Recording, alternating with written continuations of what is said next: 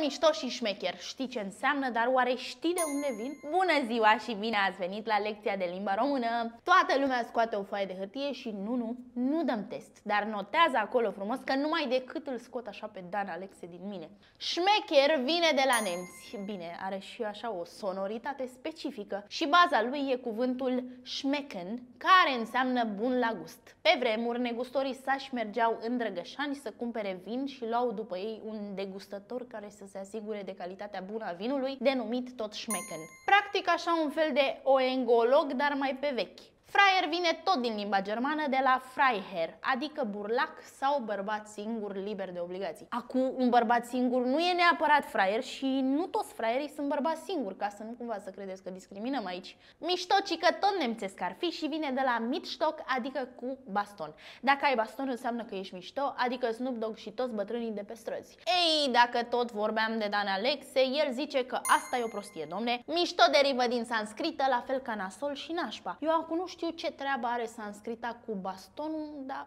mă rog.